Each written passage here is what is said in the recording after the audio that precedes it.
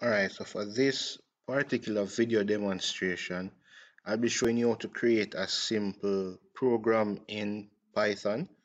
Alright, um, it's nothing out of the ordinary. It's a simple Python program. Um, I'm hoping to bring across certain lessons while we're going through this particular activity though. Alright, so first of all, if Python is not already installed on your computer, what you can do is open your browser, type Python, alright, um, you can say Python download.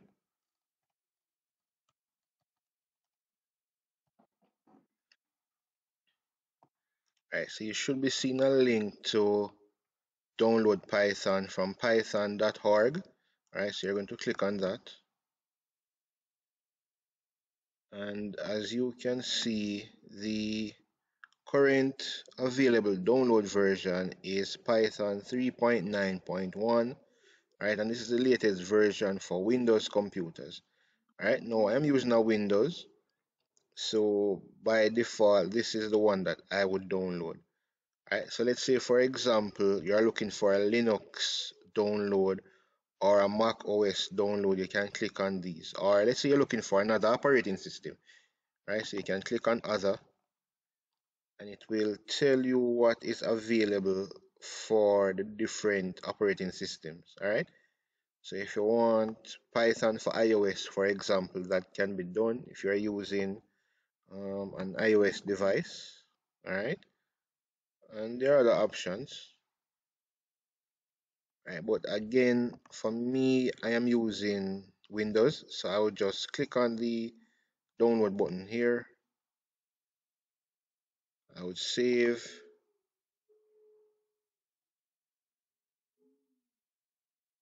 And then install. Now I'm pretty sure that you are able to and you know how to install um, software to your devices. So I won't necessarily go through that right now but just download and then install alright once that is done what you can do is you can use um, a, a IDE that comes with with Python installation called IDLE. Right? You can use that to write your your Python code, or you could go ahead and download PyCharm. Alright, so you can download and install PyCharm. I have a separate video showing you how to download and install PyCharm, so I'll put a link to that as well in this video. Alright. Now, once you download Python and you download PyCharm, if you want to use PyCharm as the IDE to create your Python programs, then we are good to go. Or you can simply use the default one that comes with, Python, and that's IDLE. Right, and this is what it looks like.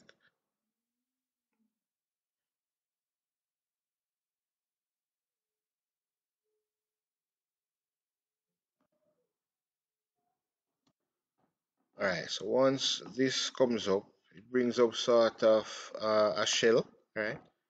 So once this comes up, I can say file, new file, and then and then start to write my my Python code. Right, so I can start write my Python code here. All right.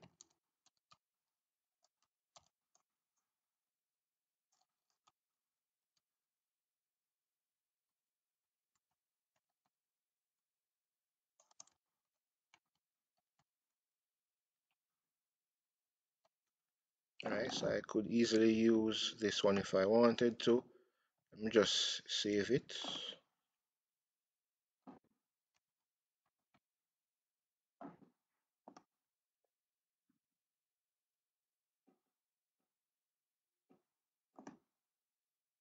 Right, let me save it in a particular document. Well, not particular folder. Alright. So I just go to run, run the module, and it produces hello world. Alright, so by default you can use IDLE, which is this default one right here. or as I said, you can download and install PyCharm and use PyCharm. So for us, for this demonstration, I'll be using PyCharm. Right, so I have my PyCharm installed. Open that up. I'm going to go to File. Going to click on New Project. Now you can decide where you want to save the project by clicking this folder icon right here. Alright, but I'll just save it in the default location which is given here. Now it is giving me this name by default called Python Project 1. I'm going to change it to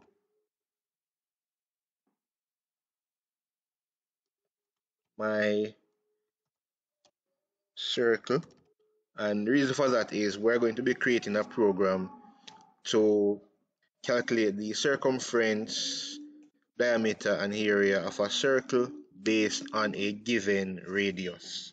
Alright, so once that is done, the environment, the new environment is using the virtual environment. Alright, so ensure that you have that selected. Alright, click on create. It's asking me if I want to load it in this window or a new window. I'm just going to say new window.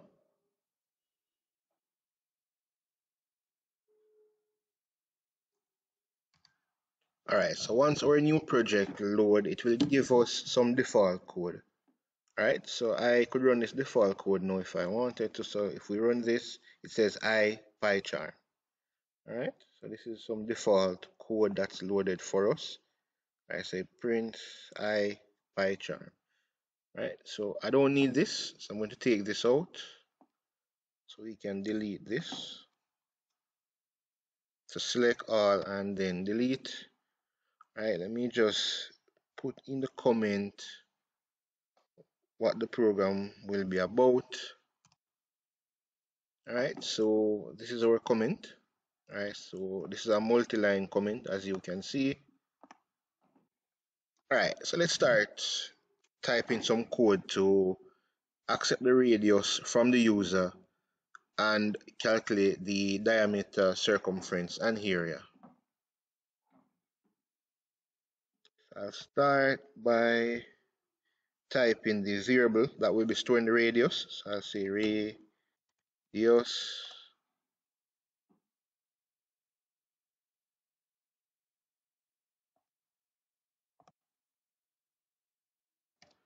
right? So we say radius is equal to and again the radius will be given as user input all right?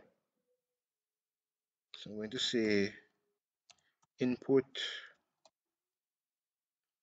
and just let's just give a prompt a message to the user. Enter. Alright so that message will be displayed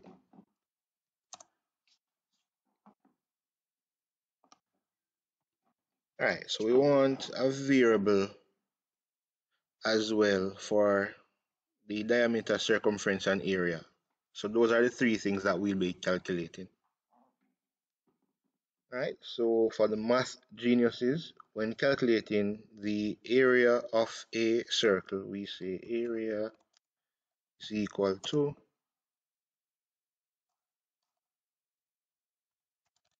radius raised to a power of 2 now, the double asterisk here is used in Python to signify power or indices, alright?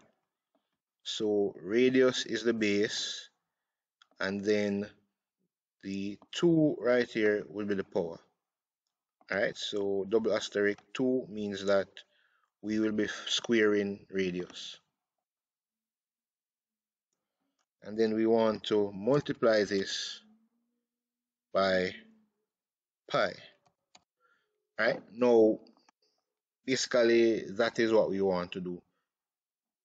Now something that is very important is for us to indicate to Python that radius will be given as integer.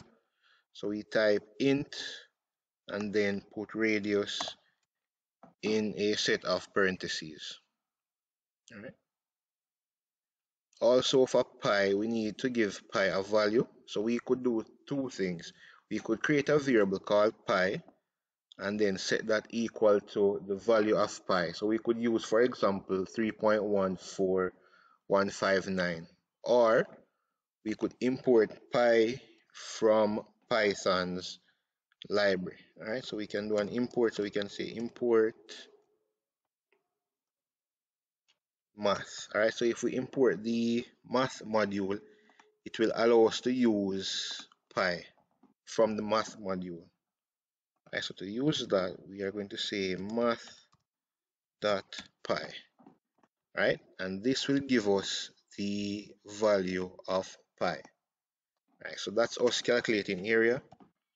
Right, so let's next calculate the diameter of our circle. So we're going to say diameter is equal to 2 times radius. Again, let's signify that radius is an integer.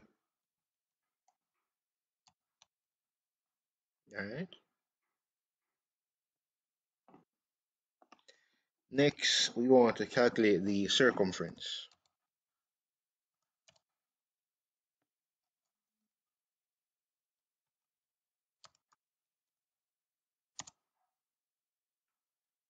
Alright, now we know that to find the circumference, we typically say um, pi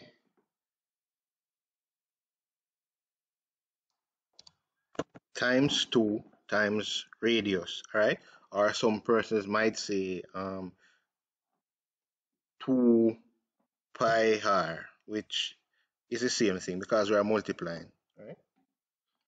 So let's say 2, or we can even say pi times the diameter because if you look, the diameter is already calculating this part of it for us, right? So it's pi times 2 times the radius, but the 2 times the radius part is done already, all right?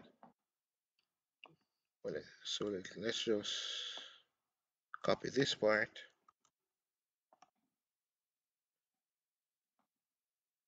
So I can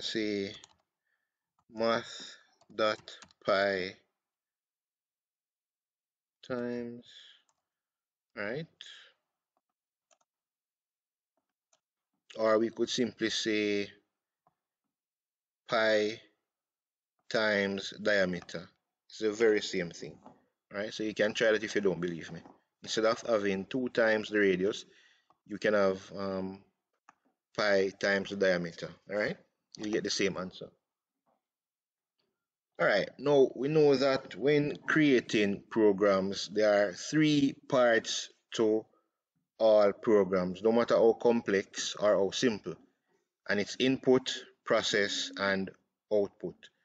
Now, we are already asking the user for input. We did our processing.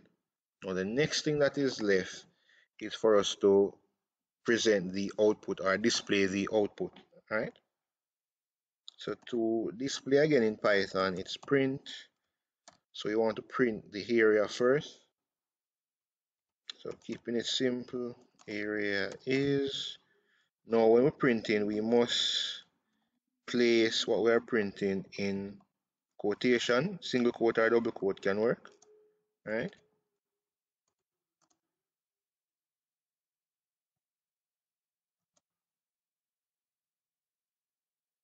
and we want to display the area.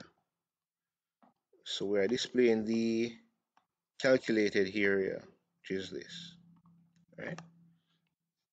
Next, we're going to say print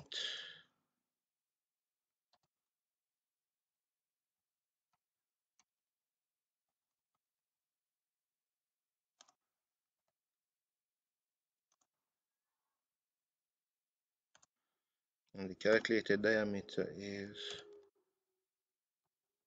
right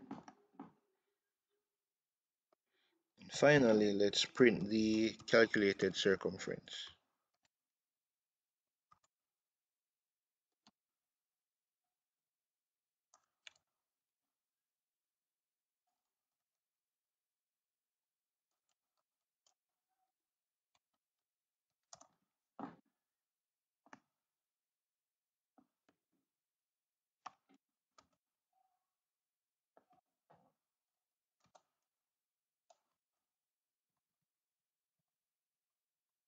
right so we want to display the circumference here.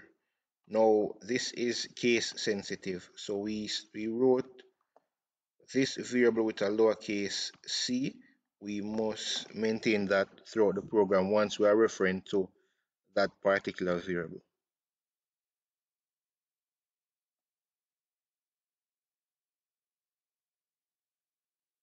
All right and that's it. So this is our program. So this is our input. This is our processing. And this is our output. All right? So let's run the program. All right. So we run this by clicking the play button. Here there's also a debug button. But I'll just run to compile. Well interpret. And then it will display what is there Alright, so it's asking us to enter a radius. Let's go with 14. Press enter and you'll see where it did the calculation for us. So we got the area, the diameter, and the circumference. Alright, now we realize the values after the point. Right, so and we know the more decimal the more decimal places or the more values after a point, the more accurate it is, right? But we want to format this to two decimal places, right? So it's a very easy process in terms of formatting to two decimal places. And this is very important because you might need this for future use. So we want to round the value stored in area diameter and circumference, we want to round those to two decimal places. Now Python provides us with a with a function called round, which is used for rounding as you would suspect. So we want to round the area, so we'll say round and then place area in a set of parentheses. Now we need to specify how many places we want to round the value being stored in area to. So we want to round this to two decimal places. So we put, we type 2. Let's do the same thing for diameter and circumference. So we round in the diameter. And we want to round this to two decimal places. Alright. Same thing for circumference.